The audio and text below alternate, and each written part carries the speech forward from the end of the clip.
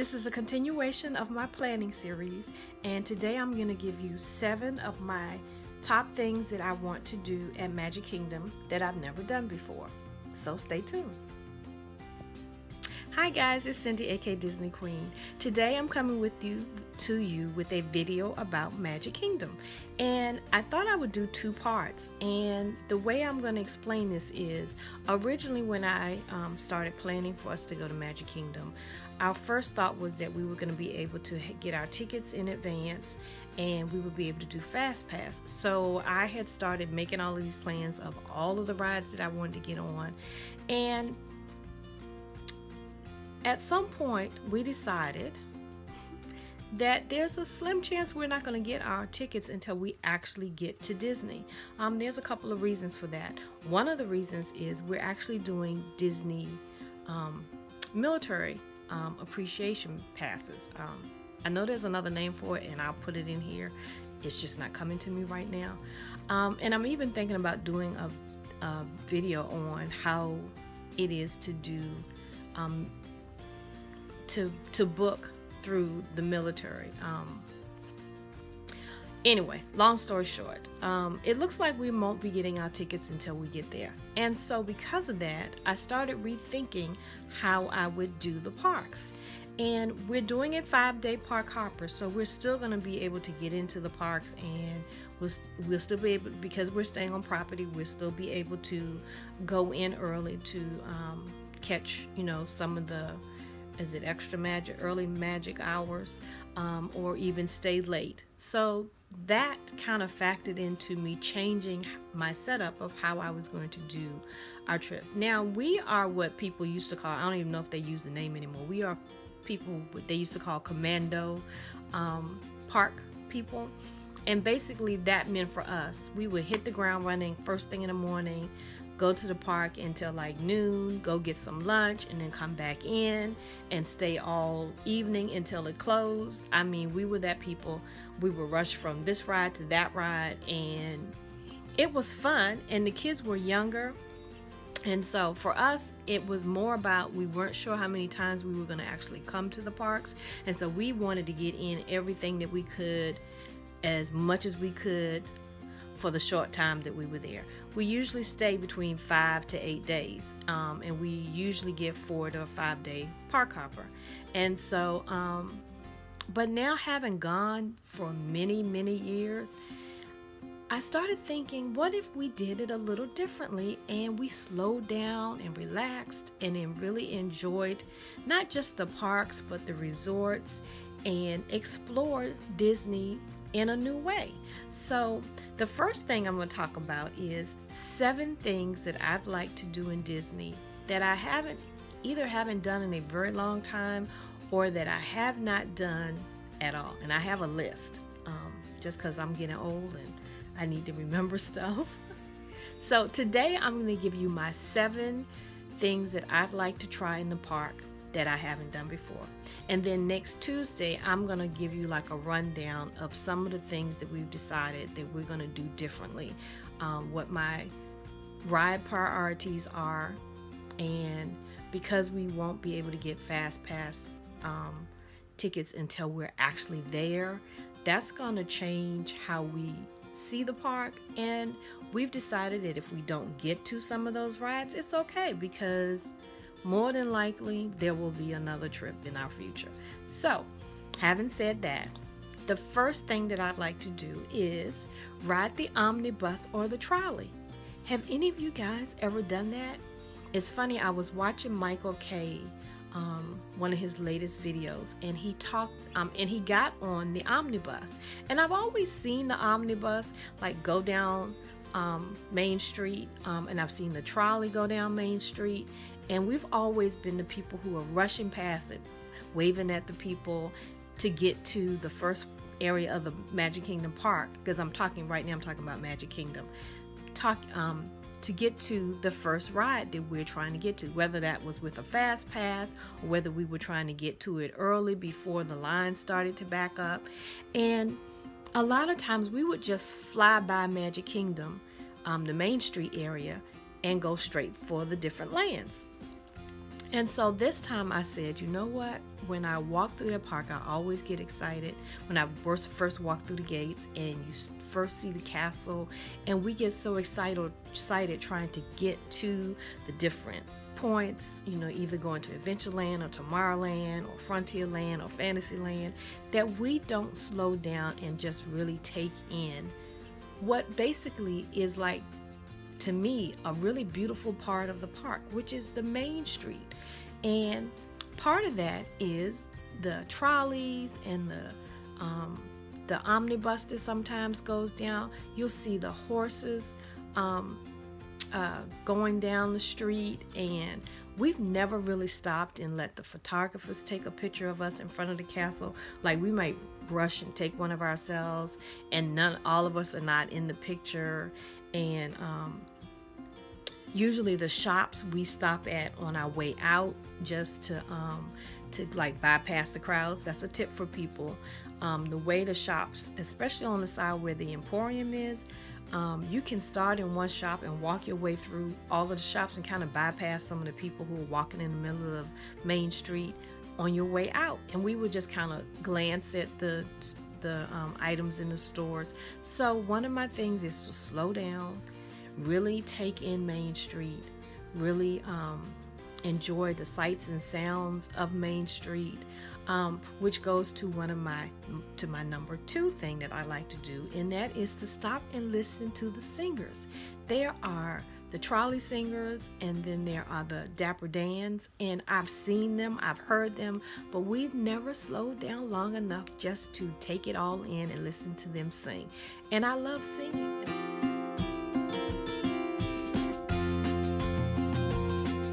I love music. And so this time around, we're to take the time to do some of that stuff. Um, uh, I guess for me, having been a couple of times, I realized on our last vacation that as much as we enjoyed the vacation, uh, we spent a lot of time in the heat rushing around to this this ride and rushing to get to this fast pass and uh, rushing out of the park to get to the next park. Um, and I don't want to do that this trip. Um, some of you know my story. You know um, some of the difficulties we had last year. I'm not going to talk about that a lot, but it just made me appreciate things a little differently. And so, if given the opportunity to go back, I want to appreciate. I want to. I, I love photography. So I want to take pictures of things. I want to be in pictures. Um, a lot of times I'll take the pictures of my family, but I'm not always in the pictures. So I want to um, utilize that time to like really just soak it all in. And the, the best time to do that is at Christmas time. And when we go, the decorations for Christmas will be up. And so I just thought, let's just do it a little differently. And I talked to my daughter, and she said she was okay with that. And I was like, hey, that'll work for me. Um, so I'm really excited about that. So, number three on my list of seven things I'd like to do differently or that I've never done before is I want to sit in the hubgrass area and just chill. Now, I know that doesn't make much sense to a lot of people, but uh, in 2017 was the first time that we had seen how they had expanded that area. Um, when I used to go to Disney um, before they redid it, there were trees and things. I know people who've been there, you know, who have gone years and years ago. Remember, there used to be trees right after you hit that first part of Main Street, just before you hit the castle. There were all of these trees and stuff. And I remember when they first took it down, I was really sad that that was happening. but when we went to Magic Kingdom, I noticed like just how open the area was and how beautiful it was. And I kept saying, we're gonna stop either take a a snack sitting down and just relax or just take some pictures in the area like you see everybody do on Instagram. and that never happened. It was on my list of things to do, but we didn't do it because we were rushing here and there.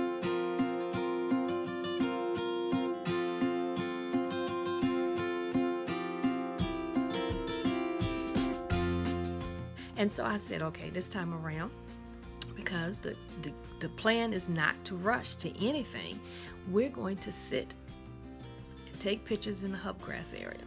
So that's you know, that's just me. Okay, another one. So that would be number four. We're gonna watch the castle show, which um, at the moment I think is Friendship Faire. I don't, I haven't heard any news that it's changing. Um, I've seen castle shows in the past, but I've never seen the the Friendship Faire one, and it has all of my favorite characters in it. And so, like Cyndi, why didn't you stop and watch the the show again? Because we were rushing everywhere. And so I thought this time around we're gonna check the guides. Um, we're gonna check out check our app, and we're going to stop and watch the show. The next one on the list, which is number five, is I have never seen the Festival of Fantasy Parade. And I hate that I was there in 2017 and didn't see it with the big um, dragon with the fire before it caught on fire. we didn't stop. We didn't take the time to stay and watch the parade. And we always watch the parades, but this time around we didn't watch the parades. And I don't know how that happened. So I said, I'm watching the parades this year. that is at the top of the list as well. Okay, so the next one, number six, is stop and take a photo at the train of the train at the train station. I don't know if you know that right now um, the train is actually just docked in the front of the train station because the the tracks are being um, rerouted because they're doing a new ride in uh, Tomorrowland. and because of that, they're gonna have to change some of the the way that the train goes around the um, park. And for those who've never been before, there is a train, um, is a locomotive train that goes around the whole entire Magic Kingdom park, and there are three stops at the moment. I don't know if that's gonna change. Um, there's a wait, you know what? I think there's still a stop in the Fantasyland area. Um, it used to be Toontown Fair. Do you guys remember that? And it used to be a stop there. So, but I think there's still a stop there. But I think it's over near where the the circus um, tent area is now. And then there's one in Frontierland. And the funny thing is, is that we usually get on the train on these trips, but this time around when we went, um, we went to go get on the train after we had gotten off of um, one of the rides, and it was broke down. And so we never got a chance to go back on the train. And so I was really kind of upset that I wasn't going to be able to ride the train. But then I saw someone take pictures in front of the train. Um, and I was like, how often do you get an opportunity to do that? Because most of the time, once the train stops and you're getting ready to get on it, you're rushing to get a seat to get on the trains before you know it starts to fill up but you don't ever just stand in front of the train and take a picture or take a picture sitting on the train so i know these are not like over the top things to do but for me i look at it as a way to capture a memory and so that is why that is on my list. And I love the fact that these trains were trains that um, um, Walt Disney found in Mexico, and he then had them brought back and refurbished to be used in the parks. I just think that is just so neat.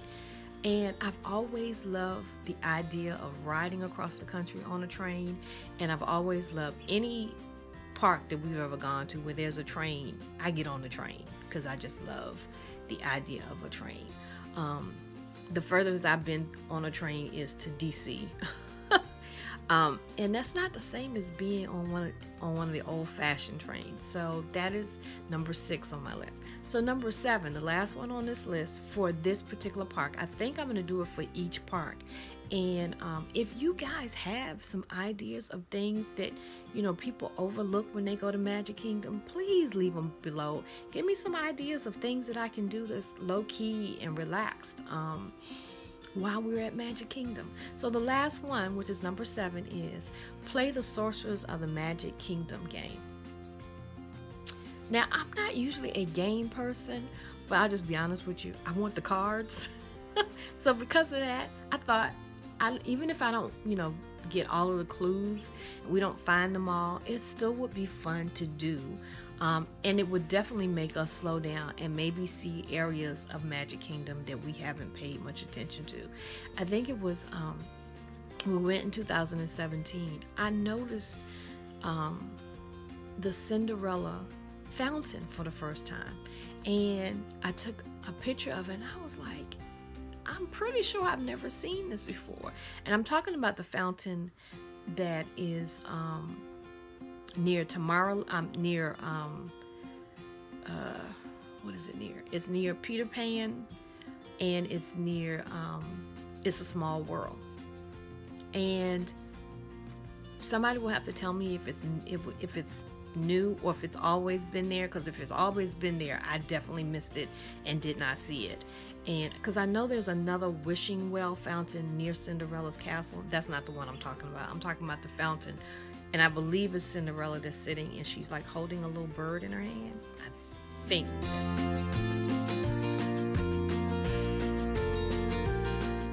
It is, um, and so uh, there's just so many little details that you kind of overlook. And I thought, well, if we try doing a game then maybe we will see some things that we've never seen before. I've never looked for a lot of the hidden Mickeys at Disney. Um, that would be fun to do. Um, I'm trying to think of what else I haven't done. There, there's lots of things that we didn't do um, just because we were always rushing to get to a ride, and I don't want to do that this time. So this is a really short video, just to kind of um, give someone else who has either been a lot of times or is going and they're concerned that, you know, their days are going to go by too fast. The one advice I would say is yes, ride the rides that you really want to ride. If you can get the fast pass for those rides, get the fast pass for those rides. But if you don't get it, don't let that ruin your um, trip. I've been on trips where I've seen people, like families, just rushing. I mean, leaving children behind because they're rushing to get to the next ride. Guys, there's no way to enjoy your vacation. Take it from somebody who knows. I came back home from my last vacation, and as much as I loved it, there was there were things that I didn't even remember what we did because we were rushing everywhere. And I said, I'm not going to do that the next time. And so I think by us waiting to to buy our tickets. Now I'm not saying that might not change, but I'm saying by the possibility that we won't get our tickets until we actually get to Disney. Um, at first set me in a panic mode because I am a person who likes to plan. And my first thought was, we're not going to be able to ride anything. But I remembered on our last trip, we had Fast Pass um, for a lot of rides. And by us going in the park early in the morning when it first opened and going to some of those, those rides, or some of them even later on in the evening, um, we were able to still get on those rides. And we even canceled some Fast Pass. And that's another thing. Someone might cancel a Fast Pass, so you never know what you might be able to pick up. Now, the possibility, it may take a miracle for us to pick up um, some of the really, really popular uh, fast pass rides, but some of those aren't even on our bucket list of things that we want to ride on. And so next week, I'm going to tell you what my bucket list, and you might be surprised, it's not the normal rides that everybody gets excited about. I like some of the old fashioned rides that most people kind of like bypass to get to the fast rides. And so next week I'm going to tell you what my priority uh, priorities are for um, Magic Kingdom. And I think I'm going to do that with each of my videos. I think I'm going to tell you seven things that I'd like to do in each park that I've never done before. And I think that I'm going to prioritize it and things that we'd like to do. One thing for sure is I know I want to do a couple of different characters meets of characters that we haven't taken pictures with. And that's going to require us slowing down a little bit because that's another thing we didn't do. We would see the characters come out for the meet and greet, and there was a chance that we could get in the line right away.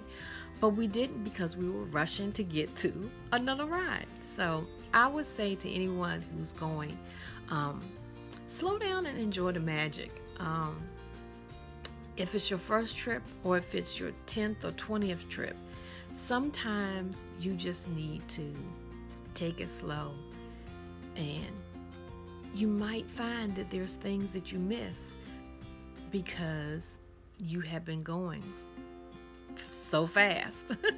so I hope you enjoyed this video. Like I said, I just thought it was a neat idea.